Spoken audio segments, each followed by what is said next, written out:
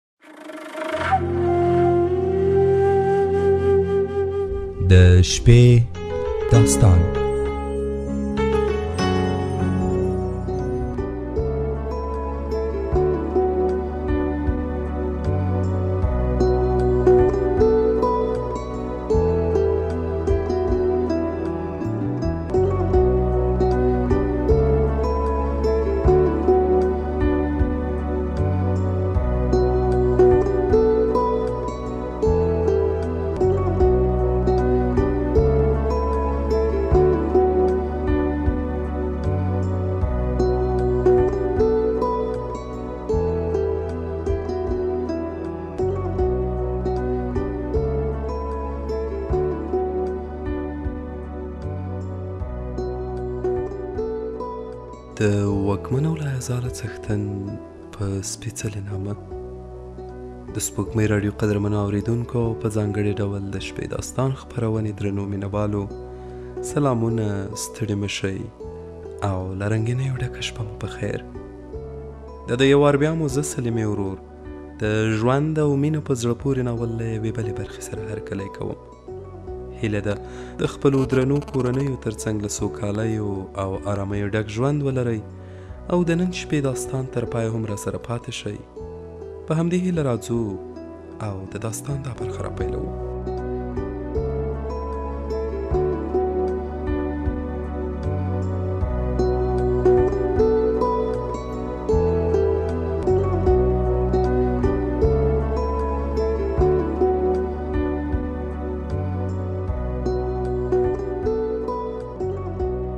په جماعت کې د ناستو مشرانو لمخې مې ټلیفون ته ځواب نشوای ورکولای د جماعت دهلیز ته راووتم د ټلیفون له وکې کولو سره مې غږ کړ او ورور جانه چرته را ورسېدې له هغې خوا یو خندونکی اواز راغی ویا ویل که چرته زه له کومه ځایه راتلای زما لیدو ته به هم دومره خوشحاله وې هغه کریم وو ومې ویل او داسې خبرې مه کوه خدای دې هغه ورځ نه راولي چې ته زما نه څنګه جدا شي ویې ویل آمین زه هم همداسې ده چې په کلي کې ټلیفون کار نه کاوه نو خلک به د زنګ وهلو لپاره د بازار په سر غره ته تلل خو ډیرو خلکو په کورونو کې د یو انتن په اساس له ساده ټلیفون نه کار اخیست زه اندېښمن شوم چې زنګ به یې له کومه ځایه وهلی وي ومې ویل ښه اوس دا راته ووایي چې زنګ دې ولې وواهه چېرته یې ویې ویل زه همدا شیبه په غره کې یم او د زنګ وهلو یوازینی لامل مې دا و هغه خبره چې نه مې شوای کولای مخامخ یې درته وکړم غواړم نن یې د ټلیفون له لارې درته وکړم په تریو تندې مې وویل څه دا وخت او په غره کې ته لیونی یې که لیوان وخوړې بیا ستا لپاره خو په لیوانو هم ځان خورم او غواړم چې ستا لپاره آن ځان قربان کړم حیران شو او زیاته مې کړه دا څنګه خبره ده چې ته په ژمي کې په دې سړه هوا کې غره ختلو ته مجبوره کړې سمه ده وایم خو خبرې یې بندې کړې ومې ویل خو څه یوه شېبه چوپ وو او بیا په آرام غږ د ټلیفون له سپیکره د زه کلمه راووته په بنده ژبه یې وویل زه زه په خبرو کې ورولوېدم ومې ویل کریمه ته څه کوې ولې خبرې نه کوې ته ښه یې زه ښه یم خو نه پوهېږم چې ولې تل ستا په وړاندې نشم کولی تا ته د زړه راز ووایم غږ دې لکه آسماني تندر داسې تاثیرات لري ومې ویل ګوره کریمه هوا سړه ده ژر راته ووایه چې زړه مې په تنګ شو هله نو بیا یې په بنده ژبه آرام وویل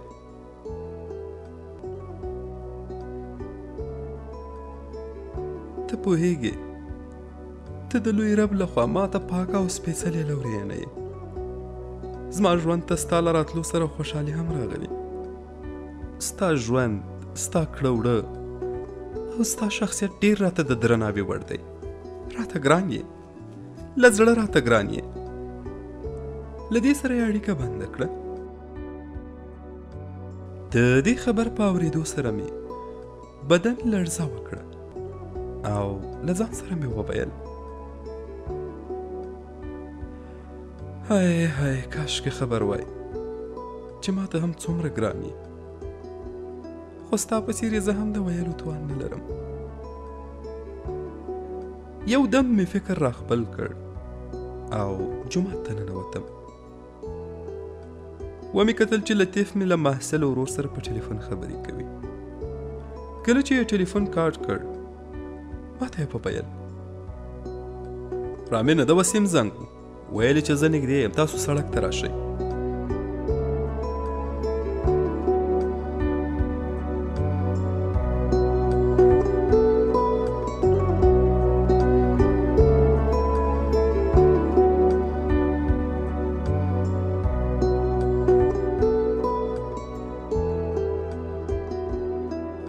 په جماعت کې له ناستو خلکو سره مو مخه ښه وکړه لږ ځنډ وروسته د سړک په غاړه ودرېدو یوه سپینه سراچه موټر چې ژړې پټې پکې تیرې وې زموږ د موټر تر شا ودرېد د موټر د څنګ په آینه کې مې ورته وکتل وسیم له موټره راښکته شو موږ هم ورښکته شوو. د پنځو میاشتو له راغلي مسافر سره مو کلکه ستړې مشې وکړه. د هغه یو لاسي بکس او بل لوی بیک می د موټر په ډاله کې کېښودل.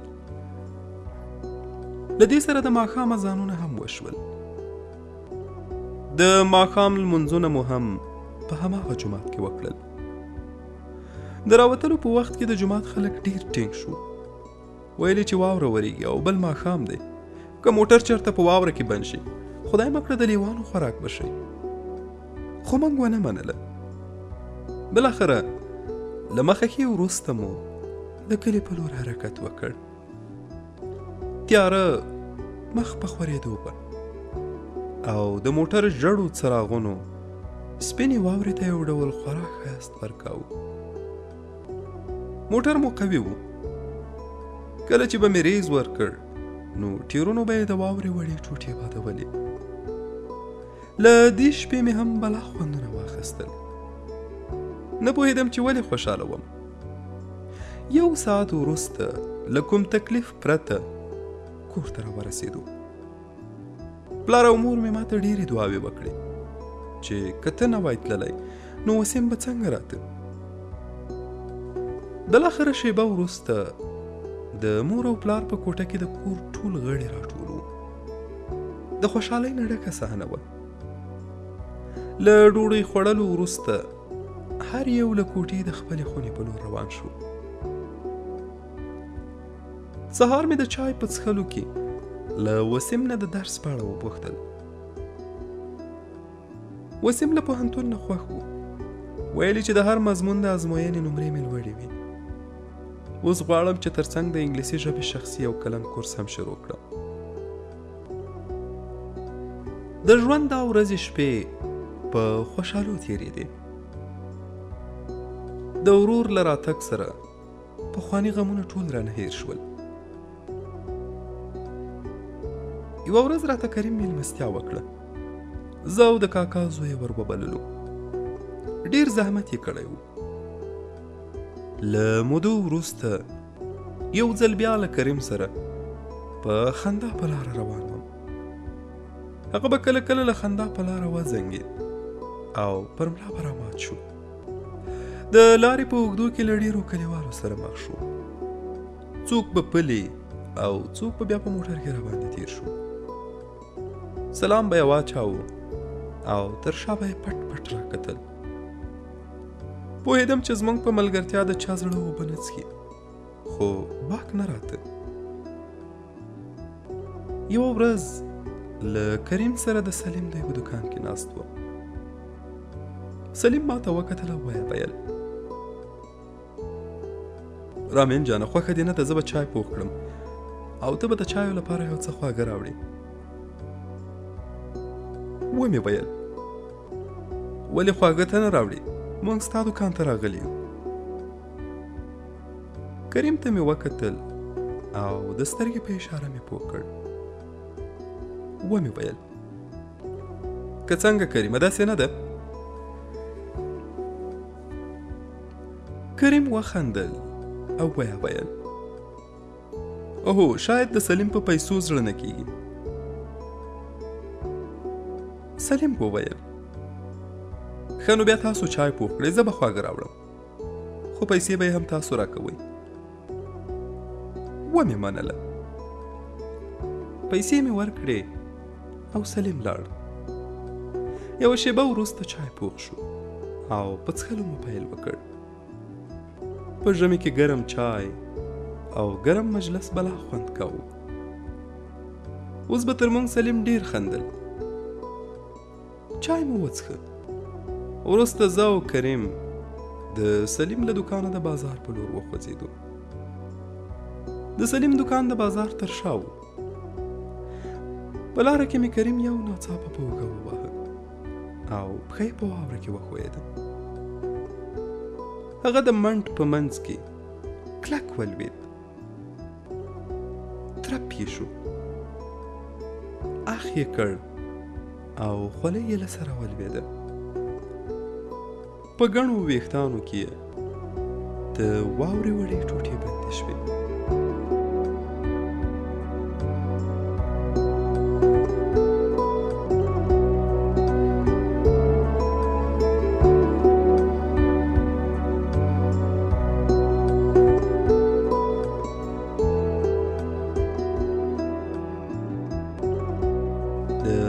لوېدو سره ما هم اخ وکړ په بیړه ورغلم تر چپ مټ مې ونیو او راپورته مې کړ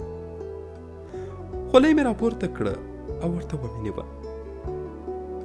ومې ویل وبخه یار ژوبل خو نه شوې چې کتل مې د کریم سپین غاښونه په وینو سره دي ومې ویل وبخه یار ما خو ټوکې کولې لاړې یې تو کړې او سپینه واوره په سرو وینو رنګ شوه د غږ نه کاو ژبه او شونډې یې د غاښونو ترمنځ راغلي وو ما ته یې نه کتل چوپ ولاړ وو او خپل سر ته یې دواړه لاسونه نیولې ول زه پوهېدم چې زیات درد یې احساس کړ ځکه مې تر لاس ونیو او ومې ویل زه چې یو ځل ډاکټر ته لاړ شو خو لاس یې رانه کش کړ او په غوسه یې وویل پرې مې ږده نه ځم د بازار له یوې تنګې کوڅې دوه ځوانان زمونږ په لور راووتل مونږ ته نږدې ودرېدل یوه یې وویل خدای خیر کړي دا ولي ومې ویل کومه ستونزه نشته پښه یې وښویده روان شو له دې سره کریم هم شاته روان شو او ویې ویل زه لاړم د خدای په امان یو ناڅاپه مې ټول بدن ولړزید ورغلم او تر مټ مې ونیو خو ونه درید ومې ویل کریم جانه خیر دی که ډیر ژوبل شوی ډاکټر ته دې بیایم که نه درمل درته راوړم داسې مه کوه ما خو فکر نه کاوه چې ته به دې حالت ته رسې ویه ویل بس مننه زه ښه یم ځه نور تلای شي ومې ویل نه داسې خو نه کیږي راشه ما هم پورې وه او خپل بدل دې واخله خو داسې مه وایه یار نه زه ستا په رقم بې حوصلې نه یم او نه هم ستا په ډول زړه لرم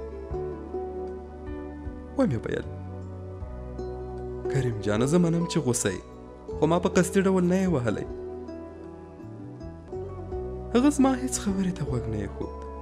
او په چټکو قدمونو د خپل کور په لور روان و په لاره کې مې ورته ډېرې زاړې وکړې هیڅ یوه خبره یې هم ونه منله بالاخره د کریم کور ته ورسېدو کریم بې له دې چې څه ووایي په دروازه پټه خوله ننوت په زړه مې یو ډول اور بل شو یو ډول نارامي مې احساس کړه څه مې نشوای کولای څنګه به بې له اجازې پردي کور ته ننوتم هغه هم د هغه چا په خوشحالولو پسې چې په ناپامۍ کې رانه خور شو نور زه هم په نهیلۍ د خپل کور په لور روان شوم مسخوتن ډوډۍ ته کېناستم له دوو دریو ګولو زیاته مې تېره نه شوه له زړه خفه وم د زړه نیمایي برخه مې نه وه پر ځان مې اور بلیدم خپل ځان مې ډېر زیات ملامت کړ د لمانځه وروسته خپلې خونې ته لاړم او په ځای کې پرېوتم خوب چېرته و د کریم په وینو سره غاښونه او له اوښکو ډکې سترګې مې هېڅ له زړه نه وتې د شپې تر ناوخته ویښ وم وروسته چې څنګه ویده شوی یم نه یم پوه شوی سهار مې د مور په غږ سترګې رڼې کړې ویلې چې ګرمې اوبه مې درته راوړې دي او داس وکړه چې لمونځ قضا کیږي مننه مې ترې وکړه د ورځې په پیل کې مې له ځان سره کتابچه او قلم واخیستل او د باندې لمر ته کېناستم له کریم سره د تیر ورځې ټوله صحنه مې په کتابچه کې د انځور په څیر ولیکله په پای کې مې یو ځل بیا ځان ملامت کړ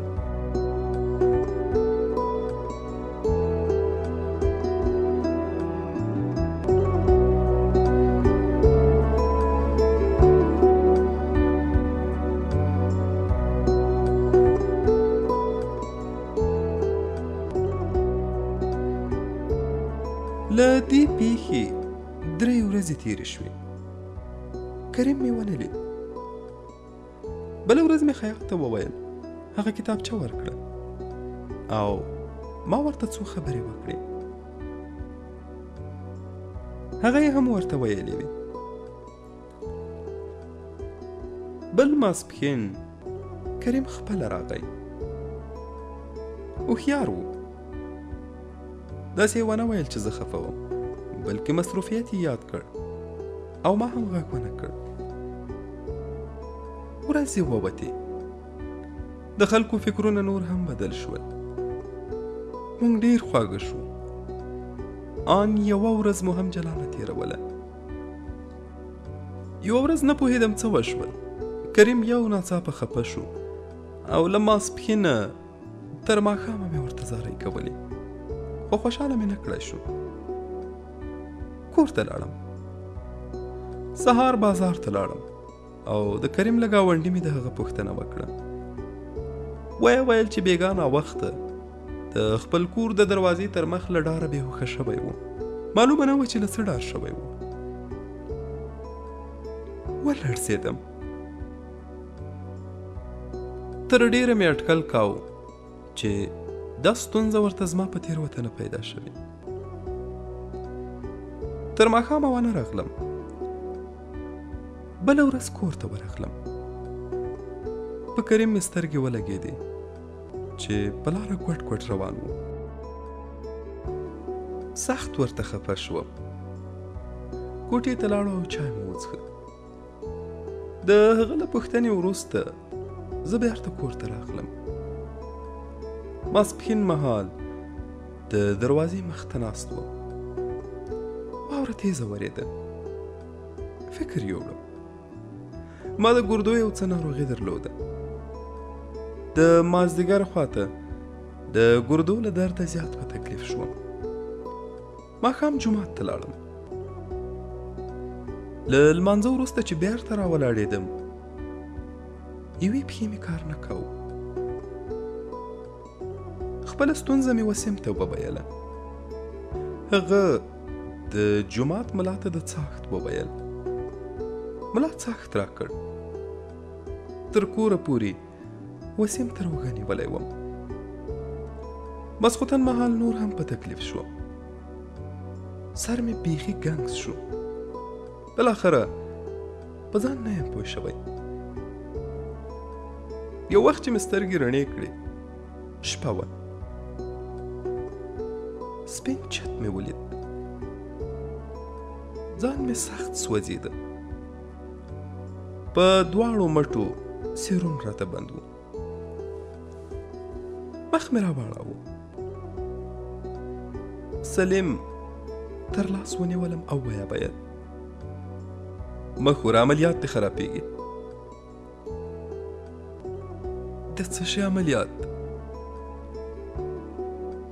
وروسته مې نږدې خپل خپلوان ټول ولیدل چې سر ته مې ولاړ دي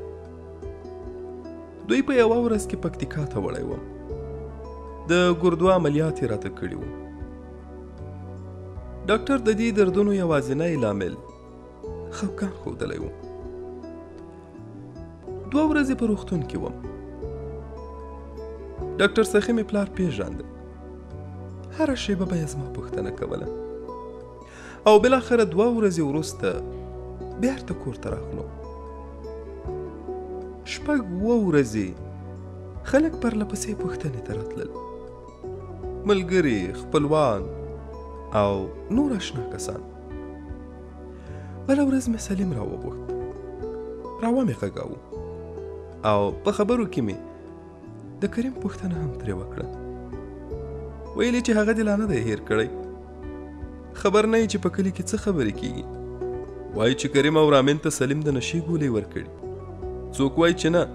دوی خپل ځانونه وژل څوک څه او څوک څه خبرې کوي یو میاشت وروسته بازار ته لاړم بیا له کریم سره مخ شوم ټولو خلکو مونږ ته کتل کله کله به مونږ ډیر خپه شو دومره چې آن و به مو ژړل بلاخره خلک زمونږ په ژړا هم خبر شو ځکه سرې سترګې د پټولو نه وي